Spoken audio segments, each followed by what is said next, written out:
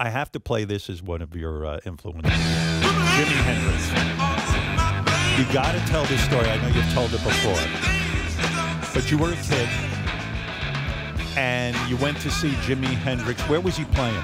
He was playing at what used to be called the Singer Bowl at the old World's Fairgrounds in Flushing Meadows. How old were you about uh, at that point? I was 18 or 19. And you came up with an idea that you would pose as a roadie to get into the backstage area of the concert. The first challenge was first to get into the venue. We didn't have tickets. We didn't have money to buy tickets. How'd you do that?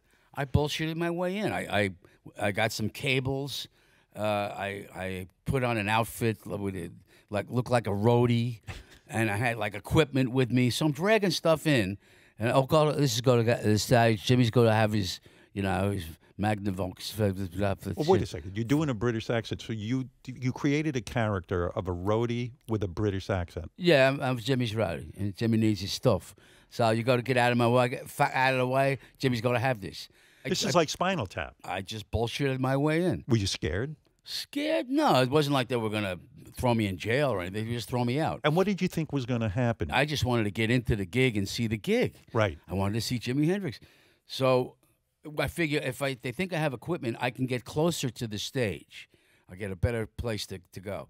So I, you know, Jimi's to have his, his cables got my way, and we get up to the stage, and then suddenly the the main roadie, Keith Robertson, his name was. He was like the famous English roadie for everybody: Cream, Hendrix, the Beatles, the Stones. Every this guy worked with everybody.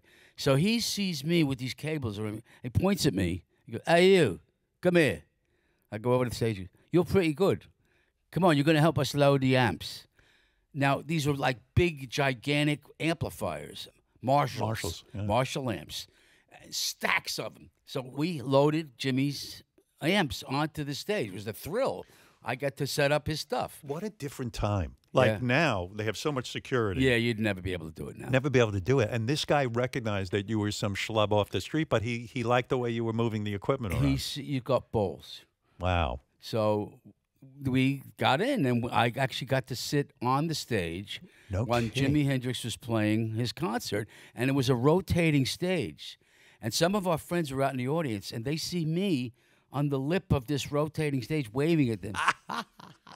we made it. Did, did it blow your mind to see Jimi Hendrix? Oh, like yeah. every what what was going on with this guy? I mean, why was he so ahead of his time? He was everything about him was new and different and and radical and great. He was he was a great musician just to begin with.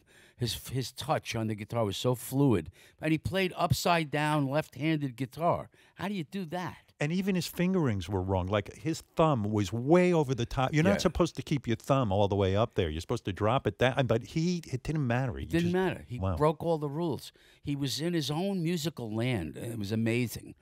W- because you admired him so much, was there ever? I know when you write, sometimes you say, "I'm going to write a song as Jimi Hendrix." Did you ever? Yeah. What, what was the song you wrote? The song I wrote was Shameless. Uh, I was thinking of Jimi Hendrix singing and playing Shameless. Um, yeah, yeah.